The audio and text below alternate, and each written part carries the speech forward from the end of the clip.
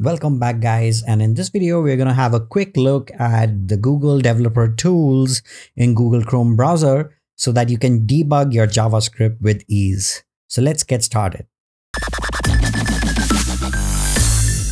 Now the Google developer tools is a topic in itself and I can keep go on and on talking about it. So in this video I'm going to keep it very brief and sweet and I'm going to give you just enough of information for you to get started with debugging JavaScript. As we progress through the course, we are going to use the rest of the features of the Chrome debugger as well. And as and when they come up, I'm going to introduce new features to you. So developer tools are offered by Google Chrome by default. And all you need to do is just go to the required website which you want to debug. In this case, I have the google.com default website opened up.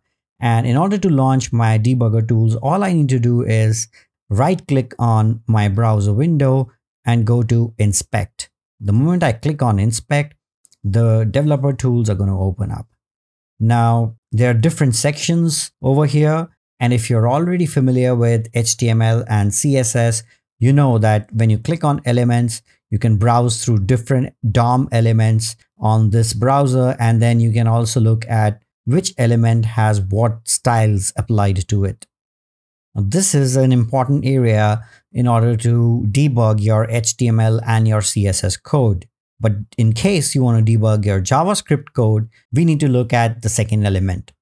The second element that I'm talking about is the console. So this is the JavaScript console and you can easily debug your JavaScript in this console itself.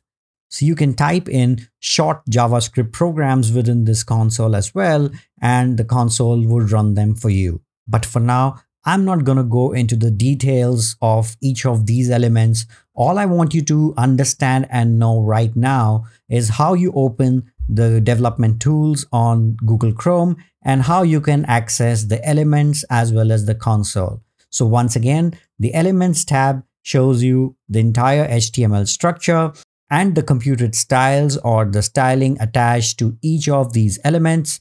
And if you go to the console, this shows you the JavaScript console.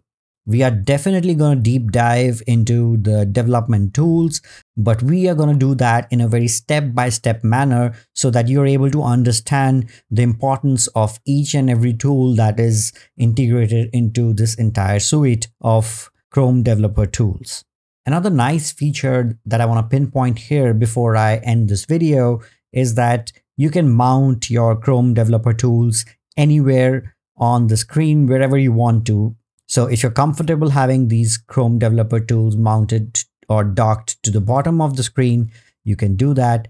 And if you click on these three dots here, and these are the various options available to you. So you can mount them on the left, or even you can detach it completely from the window. I prefer it keeping on the right hand side and this is how you're going to see it throughout the rest of the videos. So that's it for this video guys. I'll see you in the next one. Cheers.